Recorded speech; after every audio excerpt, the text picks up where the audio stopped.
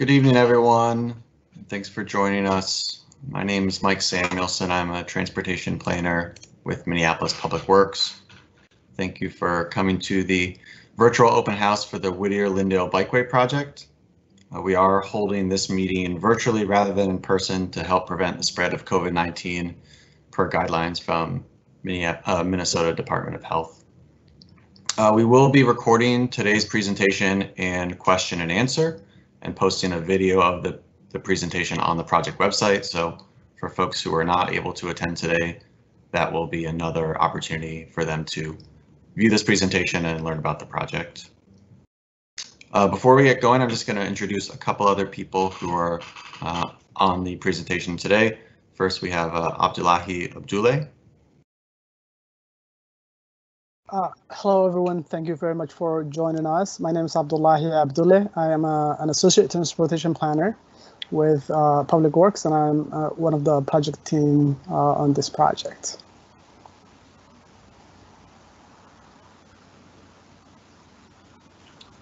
And we also have Casey Atkins from Toole Design, who is a consultant assisting on the project. Hello, everyone. Thank you for joining today.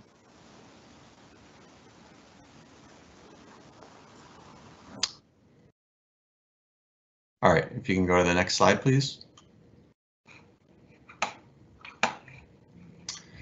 So before we get into the topic of discussion for today, which is a transportation project, we want to just take a moment to acknowledge everything that's going on in Minneapolis, in our state, in our country, um, and to kind of help frame that, I've posted, we've posted some text from uh, the recent passage by City Council declaring racism as a public health emergency and just noted a couple of the statements uh, in that document that was approved a few weeks back. And we know there are so many emergencies happening right now, the COVID-19 pandemic, uh, which we know is disproportionately affecting our BIPOC communities, the murder of George Floyd and subsequent uprisings, both of which happen in our streets, uh, the increase of violence that's happened this summer, uh, as well as the increase in people experiencing homelessness in our city. Uh, in addition, the rise in unemployment and looming evictions. And so none of these are specifically topics of our conversation today. Um, so the question might be, why are we bringing them up? Um, first, to just acknowledge the interconnectivity of, of the work that we're doing with the people who do live in Minneapolis, uh, and many of us working on this project do live here, have family here as well. And we also just want to note that we understand that for many people, transportation is not a top priority right now. Um, and we just want to pause and, and, acknowledge everything that's happening in our city um, and just sort of take a step back uh, before we get into the focus of today's conversation.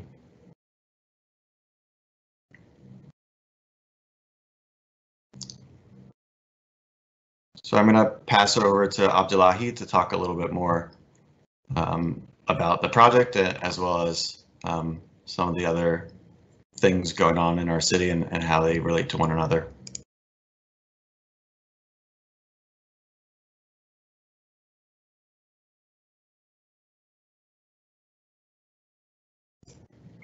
Abdullahi, I think I think you're muted.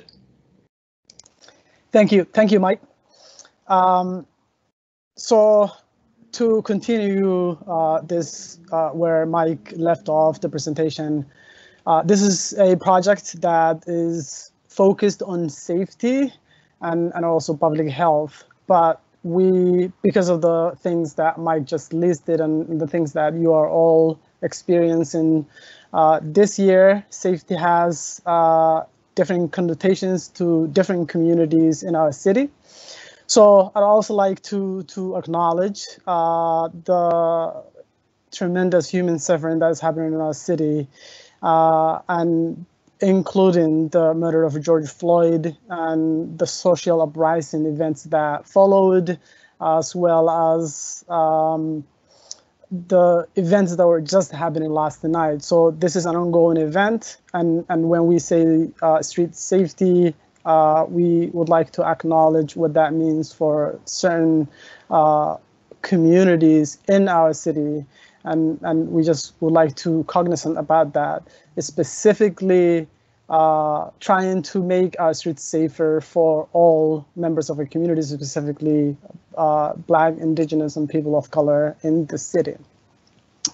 Uh, with that, uh, I will get to the to the presentation. So please go to the next slide. So I and this speaks to the why we're here today. Um, and we are here today so we can give you an update on where we are on, on the project and also discuss some of the concepts that we have developed so far.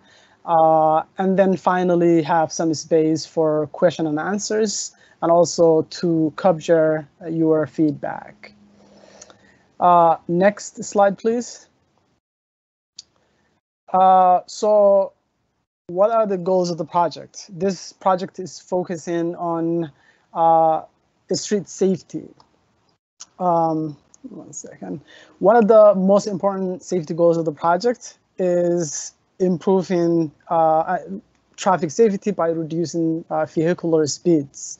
This is particularly important because some of the segments uh, along the project corridor are currently identified as high injury streets in the city's Vision Zero program. So that it's it, the safety and reduction of speed is our priority or the the the number one goal of the project. The another goal of the project is to enhance the predictability of the street for all users by having a dedicated and protected spaces for bicycles and motorists as well as pedestrians. So every user knows where they are supposed to be.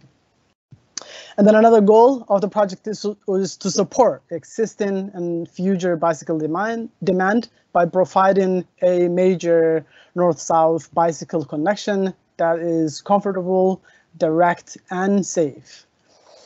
And then uh, another uh, goal of the project was the fourth goal of the project is to improve the city's bicycle network connectivity. Uh, next, please. This speaks to the schedule uh, of the uh, of the project and where we are right now. So we started conducting our initial project engagement, initial project engagement in the first couple months of the year. Uh, then using the feedback and what we have heard from the community, uh, we started developing our engagement. Uh, uh, we started developing our uh, initial concepts last spring or the spring of this year. And now throughout the rest of 2020, uh, we will be conducting additional uh, engagement events so we can hear people's reactions and thoughts on the concepts and designs that we are sharing. And then so we can also make any necessary refinements. Uh, and then uh, in the upcoming winter of this year, as well as the first couple months of, of uh, next year, uh, sometime around that time frame, we will be seeking council approval for the project. Next, please. This slide speaks to the safety, the core uh, project goal that I spoke to, which is that um, the map on the right shows some street segments in the in the project that are currently identified as uh, a Vision Zero streets. Uh, those are First uh, Avenue South, and then there are some segments of the the segment of 28th Street and then Blaisdell Avenue South. All those uh, streets are within the project corridor and they have been identified as high injury streets. And, and so we would like to, we wanted to, to identify that. And then the map on the left shows some of the places along the project corridor or, or project routes that have been studied that had higher speeding uh, in in those areas. So those are they they basically these speak to the project goals that we just discussed. And then the next slide, uh, speaks to a summary of the engagement events that we have done so far. So we have wrapped up our engagement events in the first couple months of the year. Uh, and while what we were asking, so the questions that we were posing to residents and attendees that we have been engaging with were about the type of, of the where the project should be, as well as as well as what the project design should look like, and also some of the existing conditions that people have experienced and, and wanted to share. We attended um, or interacted with about 100 residents and business owners in four different neighborhoods. Those are Stevens Square, uh, Whittier, Lyndale, as well as Kingfield. Uh, so those were in person pre-COVID. And we have also designed online survey and online mapping tool where people were able to submit uh, their questions and comments uh, about along the project corridor at specific project locations. So that is some of the events that we have attended and what we, uh, the information that we gathered. And then the next slide is Next slide, yeah. The, this slide speaks to some of the high points that we we have heard and the uh, that we have heard from people. Um, we heard that there was a strong desire for people to have a direct, uh, uh, safe route and reduced vehicle uh, speeds. We have also, when we asked about the type uh, of of bikeway, uh, the opinions were were a little bit mixed. We heard two-way bikeway along First Avenue South, but we, we also heard two-way bikeway along Blaisdell Avenue South. Uh, another thing that we heard was the existing confusion and, and, and uh, uh, on the segment of First Avenue South that is currently two-way. The rest of First Avenue South continues to be one-way northbound, but there is a segment that that is two-way. So people had a desire to change that into a one-way, so the street is uh, orientation is consistent. Uh, another thing that we heard was uh, people uh, that do not typically bike wanted to see uh, their needs reflected in this in this project, and then. Uh, another common occurrence or feedback that we heard was there were obstructions on the back lane currently in the form of people that are parking on the back lane. So there was a desire to prevent that with the new bikeway design.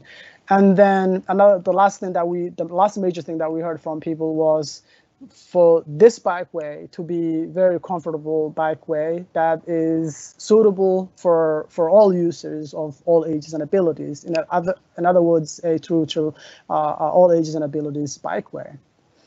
Uh, next slide, please. Uh, this slide speaks to, so this is the, the kind of an introductory to what we are proposing as the new bikeway facility, the, the, the design that we are proposing. So we are proposing two-way bikeway on First Avenue South uh, on the north end of the project. So that is from 15th Avenue uh, to 28th Street.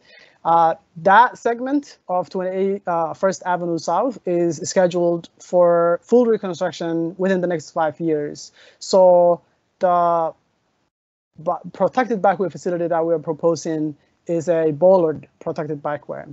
And then the bikeway jogs into Blaisdell uh, along 28th Street, and then that would be curb separated bikeway or curb protected bikeway. And the other segment of the bikeway uh, would would would stay on Blaisdell from 28th all the way to 40th Street. Uh, with those uh, bikeway types and design treatment, the one I would like to get to one of the like maybe high level reason that we got to that decision, which was uh, kind of prioritize uh, balancing some of the existing needs and, and available opportunities along the project uh, uh corridor, and also where the existing trade-offs were uh, what the level of existing trade-offs were. Uh, the project also, besides the protected bikeway, it, it, also includes pedestrian improvements at intersections. And it also includes converting First Avenue from Franklin to 28th Street into a one-way, as we have heard from, from uh, uh, residents in our uh, initial phase of engagement. Uh, I believe that next slide, Mike will, will take it from here. Great, thanks Abdullahi. Uh, so I'm going to go through some more of the design elements in detail that are proposed as part of this project. Uh, so the first slide that we have up here is just showing the two types of bikeways that are proposed. On the left, we have the curb separated bikeway that uh, would go on Blaisdell Avenue and 28th Street. And on the right is the bollard separated bikeway that would go on First Avenue. And Abdullahi mentioned this already, but I just want to reiterate because we've already gotten some comments asking why the difference between First Avenue and 28th Street in Blaisdell. Uh, and again, the reason for the bollard protected bikeway on First Avenue is due to the upcoming reconstruction project uh, that's planned in a couple phases between Grant Street and Lake Street on First Ave. And so when that reconstruction project comes through, uh, it will include uh, all new sidewalk, pavement, curb and gutter, uh, and can also include an off-street bikeway uh, like what we have uh, over on Lyndale Avenue, kind of by the Walker. Um, but because we have that larger investment happening in the next few years, we didn't want to go in and, and make a, a costly investment uh, with a curb separated bikeway now, just for that work to be ripped up in a few years down the line. So um, hopefully that can answer some of the, the questions or comments we've received. And if there are other similar questions or uh, concerns or uh, that people have about the difference in the bollard versus the curb protected bikeway, we can certainly uh, look to address those when we get to the Q&A. Next slide, please.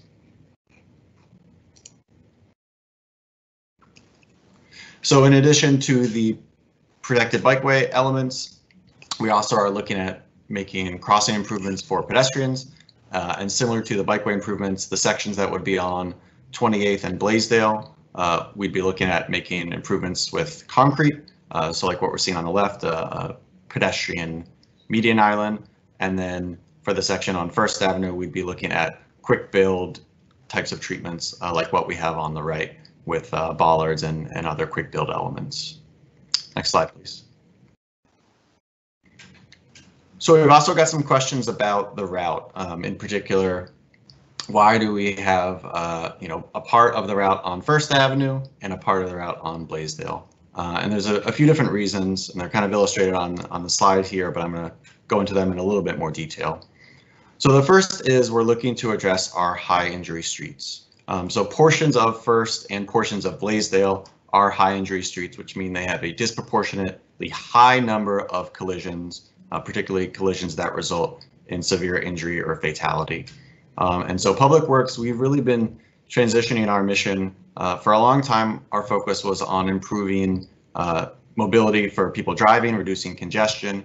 Uh, and in the past few years, through the adoption of our Vision Zero program, we've really shifted towards a focus on safety for people using our streets.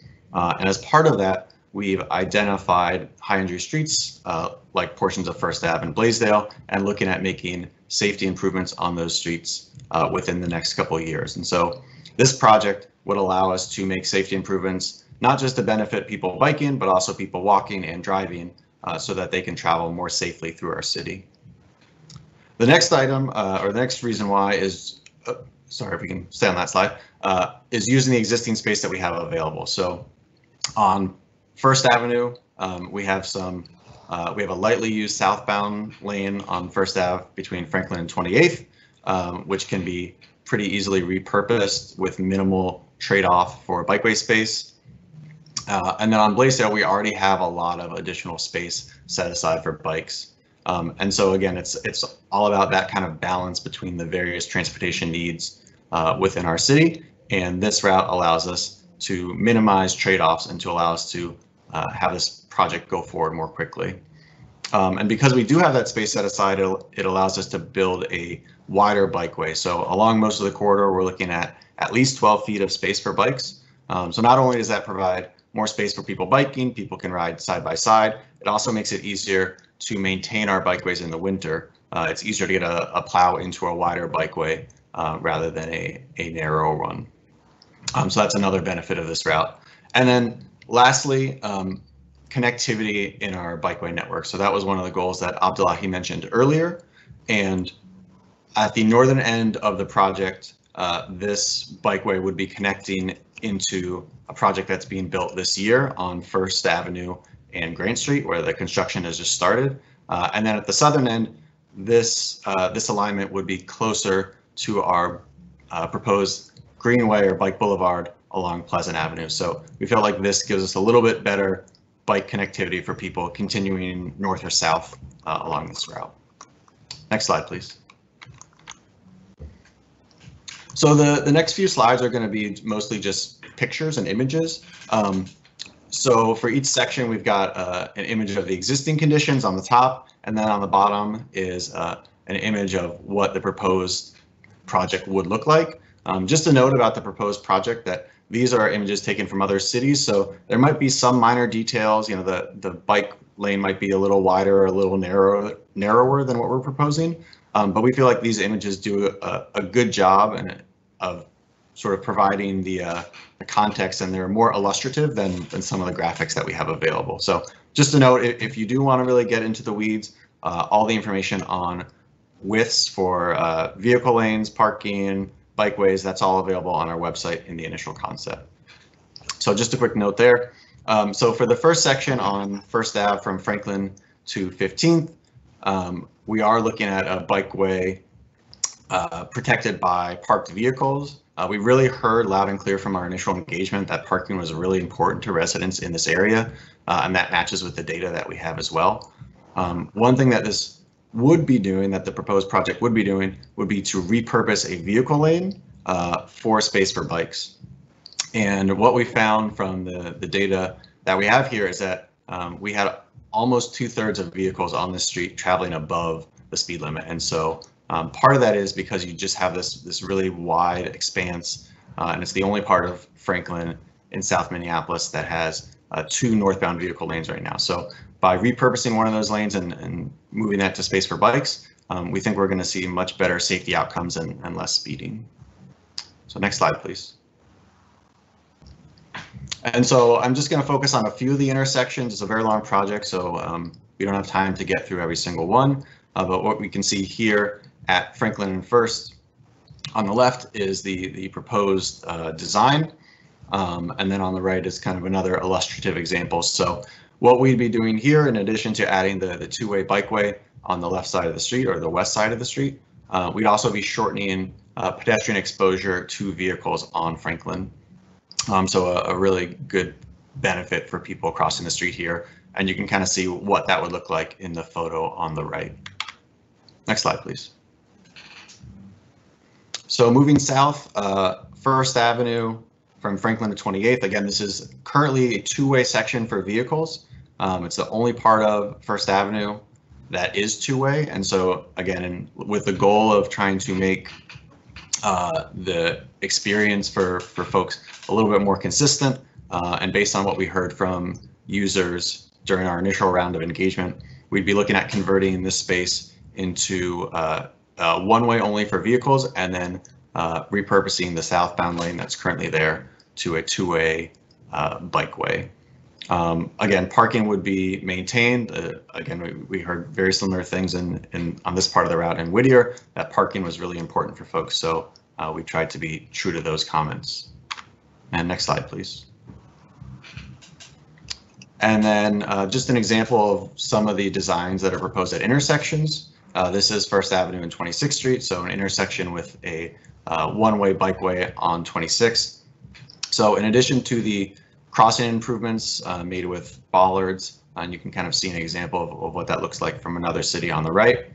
Um, we're also looking at adding elements of a protected intersection here for bike travel, um, and also looking at the opportunity to provide some element of signal protection.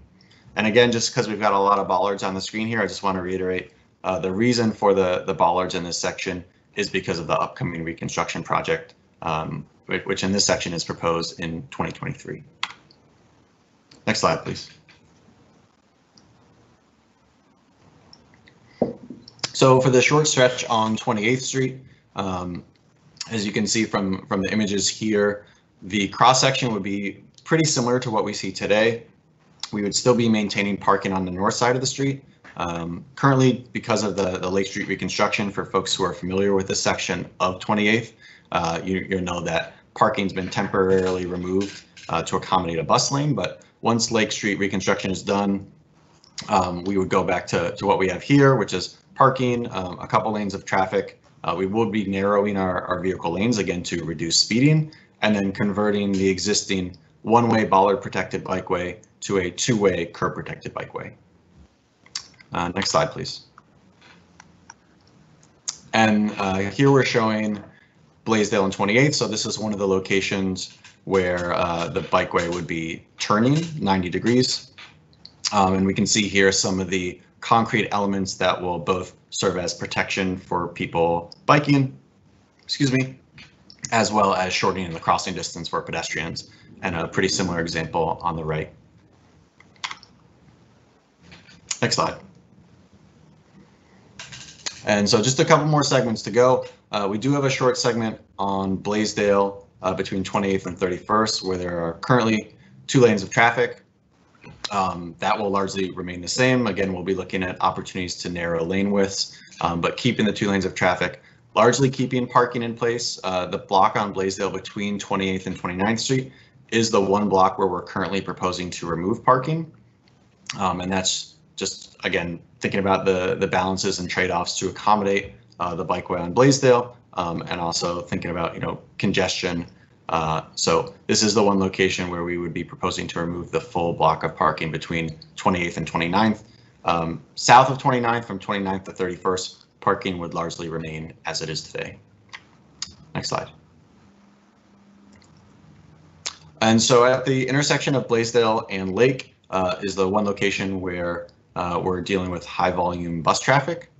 And so what we're proposing here is a, uh, a raised bikeway um, where the bikeway, sidewalk, and bus stop would all be at the same level.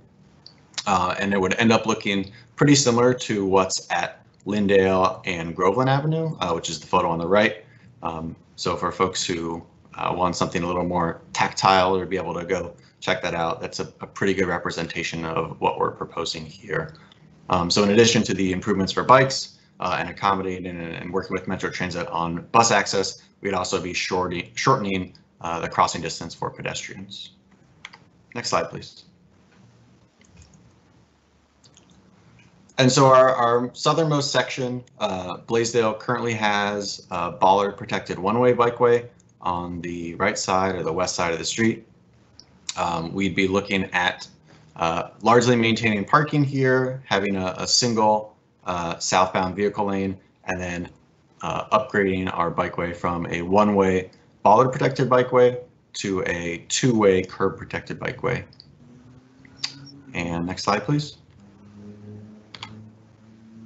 And then for our signalized intersections in this section, 35th Street, uh, 36th Street, and 38th, the design's all pretty similar, um, where we'd be looking at adding a dedicated right turn lane, uh, and again, looking for opportunities to provide signal protection um, between people making that southbound right turn across the bikeway and people biking uh, to provide not just separation with space, but also separation in time. Uh, and then on the south side, shortening crossings for pedestrians. And so if we can go to the last slide, um, I'll just keep this up here for, for a moment. I know that was a lot of information and we'll have time to get to Q and A's uh, in a moment, but there is uh, an online survey and wiki mapping tool on the project website, which is shown here. Uh, we know it's difficult during COVID uh, when we're not able to do in-person events uh, to provide feedback. So we're, we're looking to provide other opportunities as well uh, via phone or text, as well as email. So if, if, you know people who weren't able to attend tonight's meeting, um, they're certainly welcome to call, text, or email uh, the information on the screen. And then if they have a comment to submit, we can take that. If they have questions and want to discuss, uh, we can certainly discuss via those, those avenues. So that concludes the presentation part of tonight. Uh, I know we've been getting some questions coming in, uh, and I think Abdullahi's uh, going to be moderating the chat, uh, and then uh, myself and, and Casey Atkins from Toole are going to be responding to questions. So thanks for submitting questions. If you have additional, you can continue to submit those during the Q&A uh, through the chat box on, I believe, the right side of your screen. Thank you, Mike. Thank you, Mike. The, The first, first question, question is for you. You? Why is the jog? uh, why is the jog in the route necessary if one of the main goals is a direct route? I would strongly prefer a route all the way down Blaisdell rather than having it jog over to First.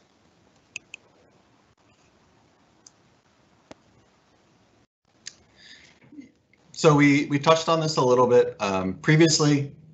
Uh, some of the the trade-offs and the balances that that we had.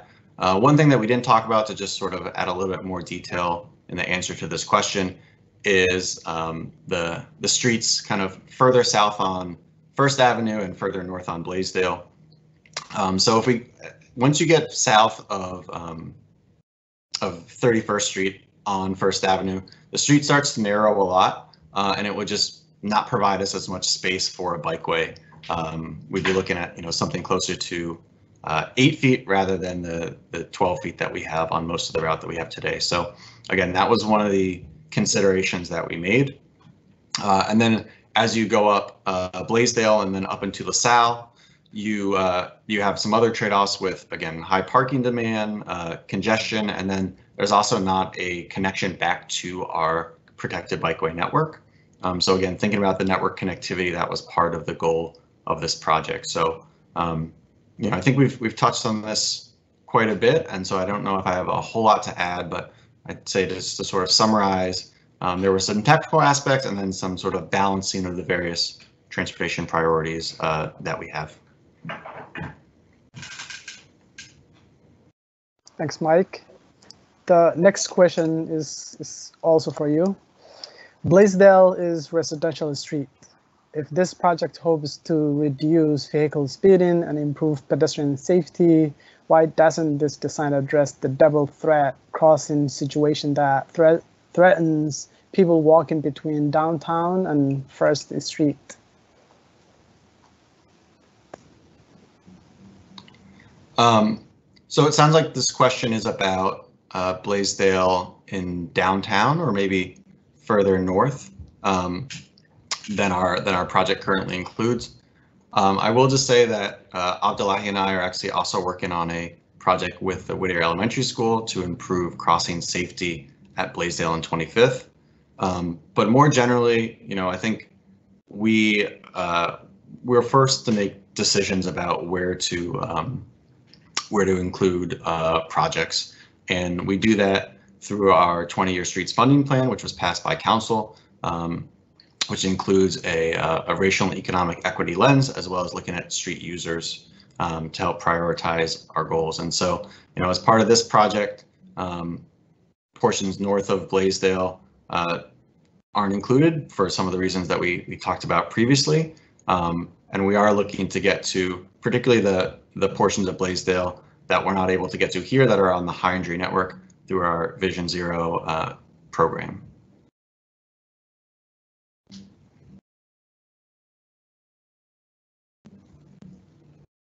Thanks, Mike. This is also multi-layered uh, question.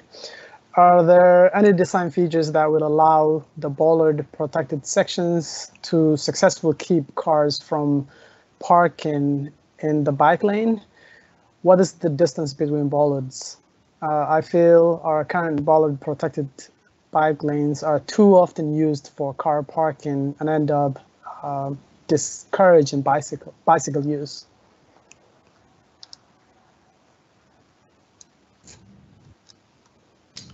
Yeah, that, so we did get comments about um, vehicles blocking uh, blocking the bikeway uh, and something that on the curb protected section we are addressing with the, the implement implementation of curbs um, for the bollard protected section uh, for the next few years. Uh, obviously, we would have bollards there, and you know we're looking at finding kind of the the appropriate spacing distance to minimize or discourage or you know eliminate um, vehicles from blocking those bikeways. And uh, Casey, I'll kind of put you on the spot. I'm not sure if Toole has any thoughts or best practices on bollard spacing to discourage that kind of behavior. Yeah, um, a lot of the national best practice is going to be spacing between 10 and 40 feet. Um, typically in Minneapolis, the spacing is about 30 feet, and you'll notice actually on the layout that's provided on the website, um, in those locations where we do have parking adjacent to the bikeway, we're actually proposing and having discussions around um, shortening up that bollard distance to um, really try to prevent people from parking in there. Um, it, it isn't a perfect and magic answer, um, but if we're able to get a few more bollards in there, then hopefully we'll deter more people from getting in there. And then as more bicyclists use the route as well, um, motorists will definitely identify, hey, this is not a space I am supposed to be. So, um, and that'll grow as the bike volumes also grow once the route is in place.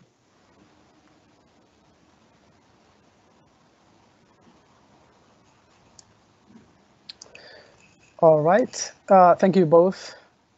This next question is also, I believe, for Mike. Um, the first part of his comment, uh, I think this is a good step in the right direction. Thanks. Um, well, thank you.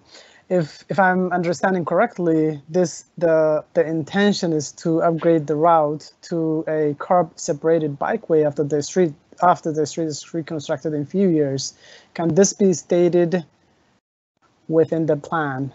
I'm concerned that the route will never be upgraded. Mike? Yeah, um, good question. So, you know, as we go through with street reconstructions, those have their own uh, engagement processes, those have their own um, design processes. So we, we wouldn't necessarily be able to say with 100% certainty that this street would be upgraded. Um, with that being said, uh, the street is identified, First Avenue is identified uh, in our draft transportation action plan as a bikeway, um, as part of our AAA network, as a protected bikeway. Um, and you know, the, the idea would be kind of using these couple years as a pilot um, to identify design elements that work well, and then once the street is reconstructed, we can implement those in a more permanent fashion.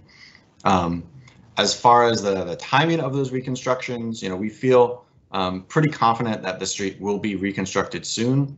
With COVID and impacts on the city budget, we're still waiting to see how that will, will shake out. But at this point, we're looking at the first phase of that reconstruction happening in 2023, and then the second phase happening in 2025. Thanks, Mike. The next question is also for you. Most questions are for Mike today.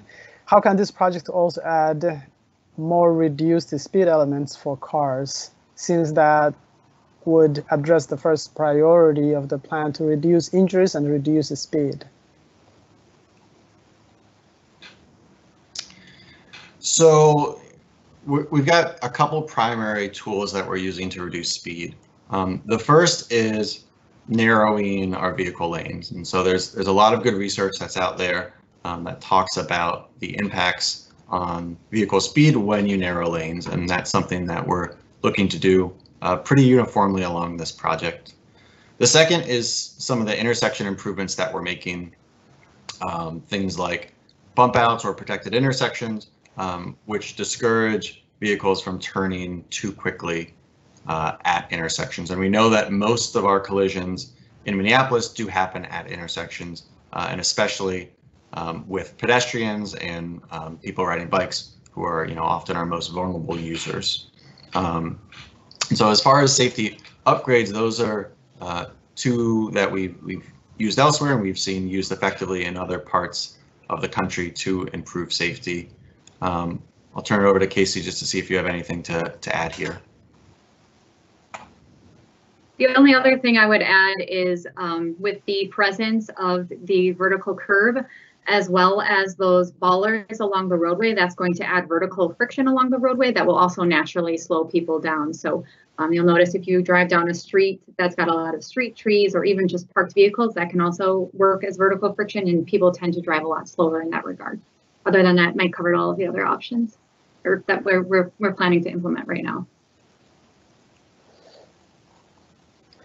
The, so the next question is a follow-up to the original question that I was asking why the jog uh, between Blaisdell and First and not stay all the way uh, on Blaisdell. So the follow-up is this.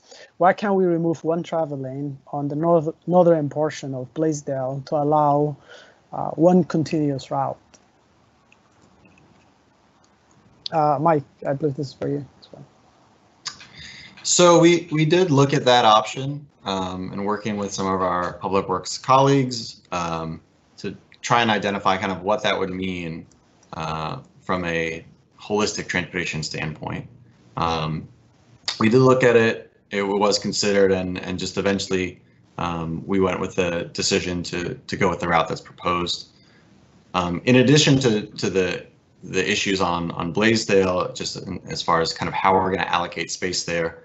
And I, I, think I mentioned this earlier, but you know, network connectivity was was a really important one for this project, and just the the northern part of our network, uh, as is being constructed right now, is on First Avenue, um, and so we were looking at ways to connect up with First Avenue, and so you know whether you uh, you make that jog further north, um, you know, at, at 15th Street uh, where you could then go all the way down Blaisdell, you're, you're still making a, a jog in one way or the other. So um, if we if we were going to use Blaisdell, um, there you know essentially they just sort of would have have to have been a, a, jog at some point, and we felt like with the other factors in the project, uh, the space available on First, the space available on 28th, uh, it just made sense to to do it there.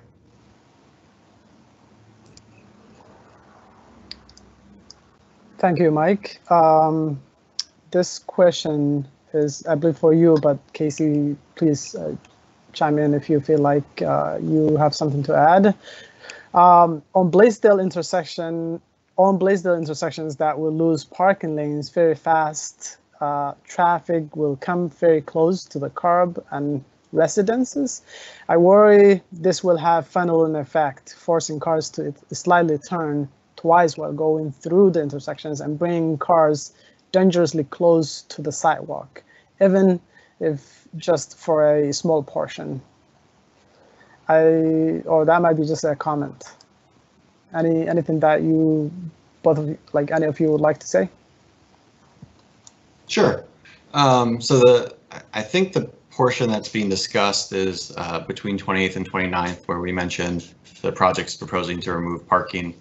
Um, that land use on, on the side where parking would be removed is uh, it's adjacent to the Whittier Clinic, uh, and right now it's just adjacent to a parking lot. So uh, we know that there there are some people who certainly walk along Blaisdell there, uh, and it, it, may be a little bit less comfortable um, in the future. But as far as impacts on on land use, we think those are going to be pretty minimal. And um, I've had some good conversations with staff at the clinic, um, so they're aware of the project and and as far as I can tell, support it. Thank you, Mike. We got two more questions. The next one is any planned raised or table crosswalks? And that's Mike or Casey. Uh, not as part of this project right now. I think is those those types of improvements tend to be uh, involved as, as part of a reconstruct. So there's potential we could see something like that as part of the First Avenue reconstruction that happens in a couple years. Uh, thank you. The This one is asking for clarification. Do bollards here refer to plastic flex, uh, flex posts? Is infrastructure that offers more protection being considered? Mike? Yeah, so when we're talking about bollards, we're talking about plastic flex posts um, in this area, 26th Street and 28th Street are pretty good examples of, of that type of product. Um, what we have started doing in some other locations uh, and what we're looking at doing here is providing, and Casey, you might have to help me out on some of the technical terms, but I think it's called a FG50. It's, it's essentially sort of a series of bollards that are very closely spaced together with kind of a, a base. And I know we've, we've installed those um, on the U of M bikeway and I don't know, Casey, if you can just talk a little bit more about that. Yeah, um, so these as Mike mentioned, they are very closely spaced and they're actually on a little plastic base um, that screws into the roadway. And so we've actually identified locations, particularly near the intersections to, um, number one, reduce turning speeds as people are making those turns. Um, but also just to really clarify that this is the bikeway uh, when you're in that location. So some of the things with the design at the intersections, when we could, we bent that bikeway out in order to give people good um, good sight to a biker crossing the roadway. But in addition, there'll be that visual cue of those closely spaced flex posts um, that says, "Hey, this is an intersection here. Don't invade this space," and that'll that'll hopefully also prevent people from driving in the bikeway as well, um, because in some instances it might look like a drive lane with the width. Thank you, Casey and uh, Mike. We actually got a couple more questions. Um, next one is a couple of times during the presentation, you have mentioned that the proposed bikeway is wide. I think it is much too narrow. There are five foot wide sections proposed. Is there room to widen the bikeways to at least seven to eight feet wide in each section by narrowing the buffer and reducing travel and parking lane widths? Uh, either of you can, can answer that. So I'll, I'll just say that um, we I did see this comment that came in uh, through some of our online surveys and that you know we are looking at opportunities to adjust buffer width in particular um, to provide a little bit more space to the bikeway. Uh, Casey, I don't know if you have anything else to add just from a sort of a technical point, just to sort of discuss the widths. Yeah, one of the things when we first started looking at this project was trying to see if there might be opportunities along the corridor to try to incorporate some green infrastructure or trees or just green versus having everything be concrete out there. Um, so that's why you're seeing some of those wider buffer widths um, when it came to reallocating the space within the roadway. And as we work through the design and whether whether green infrastructure is a reality, depending on utilities and things underneath the roadway, um, some of that that might be able to change as we move forward into final design. Thank you both. The next question reads this. I currently live on 3500 Blaisdell, and this section is heavily traveled by the fire department and EMS, and other drivers uh, typically pull over into the bike lane, uh, but car protected bikeway would eliminate this possibility. Will emergency routes change or prioritize the streets over Blaisdell? Uh, Mike. So we've we've had some uh, initial conversations with the fire department, and we've shared this design with with uh, the assistant chief over there, just talking about access to and from their station. And we know that there's a couple fire stations um, near our route, one at uh, 15th and 1st, and then one at 28th and Blaisdell. So we do want to be very cognizant of emergency response uh, and we're working closely with the fire department to make sure that um, whatever we build not only meets our transportation goals, but also uh, allows them to do their important jobs. Thank you, Mike. Uh, the next question can be either of you. Winter and it's about winter maintenance. Can you describe any changes here with the protected intersections and curbs? I can, I can start and talk more um, locally, and then Casey, if you want to kind of fill in um, kind of more general best practices. So one of the, the benefits of the two-way wider bikeway is it allows our maintenance team to uh, perform winter plowing more quickly than um, than with a narrower one-way bikeway. So um, if the bikeway is uh, eight feet wide or more, or I'm sorry, eight and a half feet wide or more, uh, that allows us to use a pickup truck, which can get to our bikeways faster. If it's a narrower bikeway, we have to use a little bobcat, and that has to be kind of uh, carried around. So um, that is one of the benefits of the, the wider bikeway that we're showing here.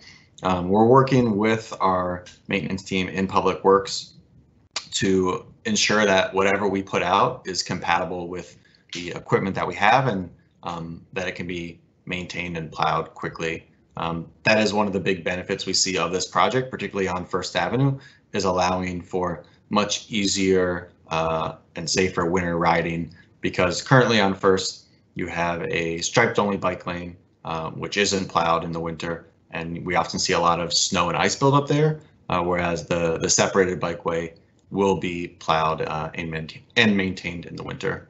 And Casey, I'm not sure if you have anything to add on a kind of a, a bigger scale.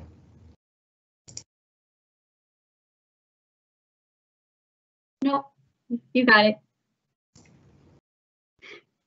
Great.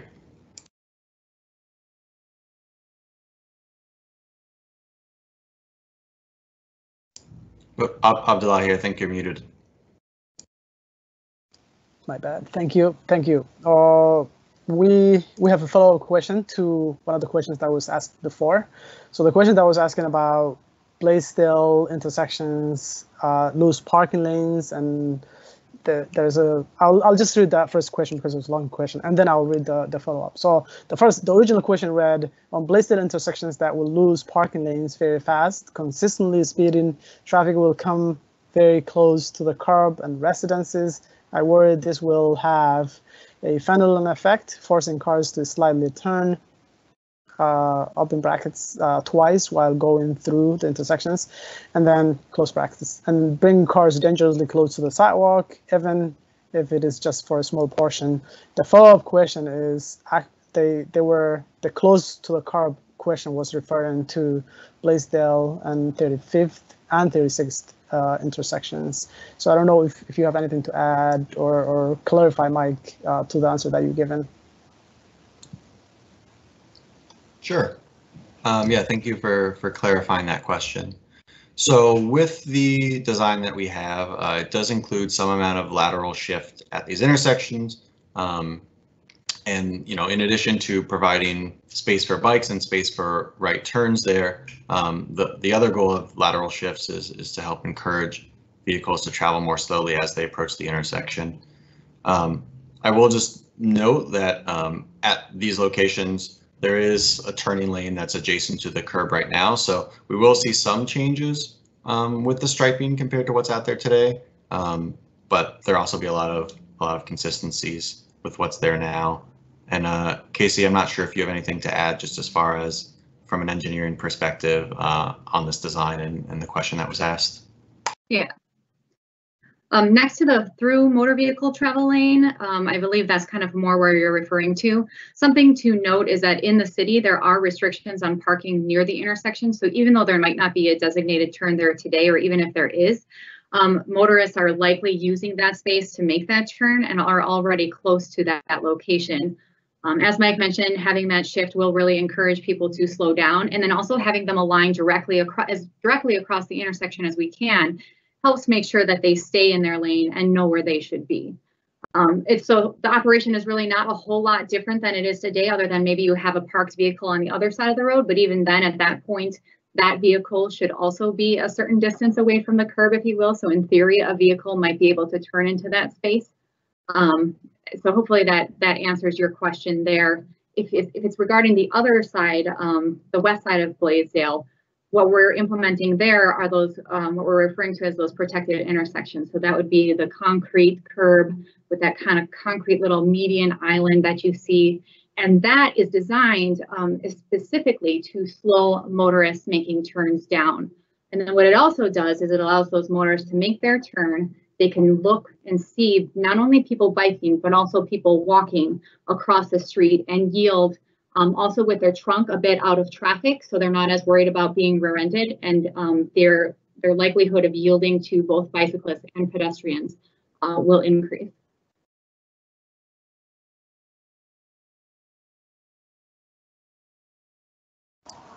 Thank you, Casey and Mike the last question that we have, uh, and we apologize if we haven't if we missed this question before. Uh, if one of the goals is to uh, improve bicycle network connectivity, why isn't there a protected connection from the Greenway to this planned protected route? Mike.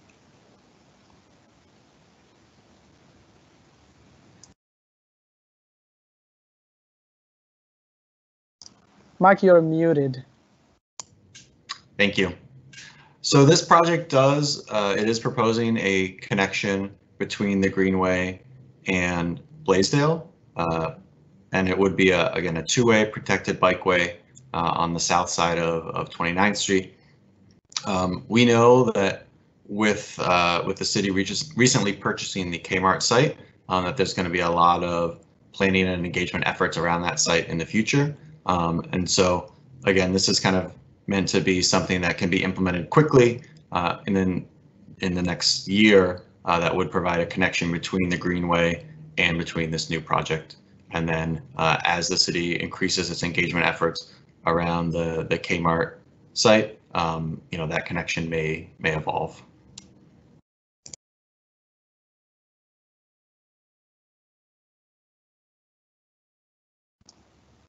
I believe that is all of the questions that we received so far. If there are any other questions that you think about after this uh, event or uh, after, you can send those to us uh, to the project website. Um, Mike, any any any final com uh, closing comments, or any other uh, Casey as well? No, thanks everyone for attending, uh, and we appreciate the questions. And uh, we've brought up the project website and contact information, so uh, please don't be shy about following up if you have additional questions or comments. And thanks again for attending. Thanks, everyone. Have a good night.